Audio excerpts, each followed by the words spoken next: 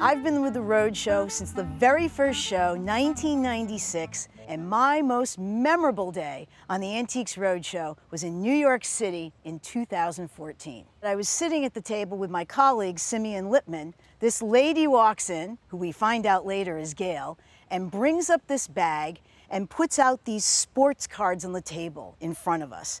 These are among the oldest baseball cards in existence. It is a true wow moment. Back in 1871, my great-great-grandmother had a boarding house in Boston and she housed the Boston baseball team. Most of them had come from Cincinnati Red Stockings and were among the first to be paid to play baseball. Now, all these cards went to your great grandfather. That's how he got them and they got handed down to you? Yeah. And the thing that's special, in addition to the cards, is this letter. And they all wrote a little sentence and signed it. While they were on a road trip, in 1871, visiting the Washington Olympics, they got rained out. And they wrote her a letter at their boarding house telling her how much they missed her. And included that was the entire team, including three of their pioneer Hall of Famers, Harry Wright, George Wright, and Al Spalding. Harry Wright here and his brother George Wright is here. You know, these were the original Wright brothers. also, Albert Spalding.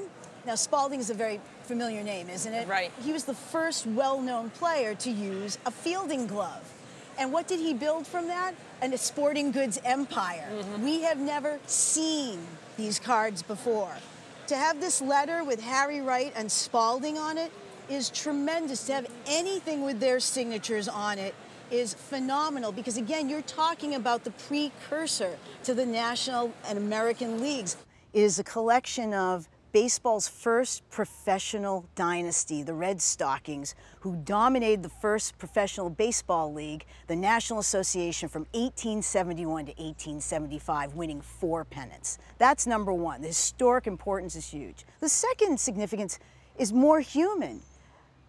We've never seen a letter that was written by an entire group of ball players to one person and had this human element to it. And baseball in the 1870s was such a different game than it is today. And the third is that it's the first fan collection. The cards actually belong to her great grandfather. He was a little boy in this house that lived with his heroes, these great ball players, and they even gave him a pass to the games, which is where he bought these cards. You're going to keep them in the family, right? I want to, yes. Okay. I'm going to value this as an archive, everything here. If you're going to insure it, insurance, okay. I would insure it for at least $1 million. Are you serious? Oh my. Holy smokes. It is the greatest archive I have ever had at the Roadshow. Really?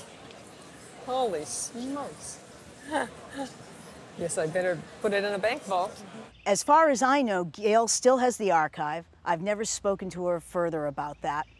And I've been asked many times, you know, how would I value that archive today and would I do anything differently? I wouldn't do anything differently, and today I wouldn't value it for any less than what we valued it in 2014.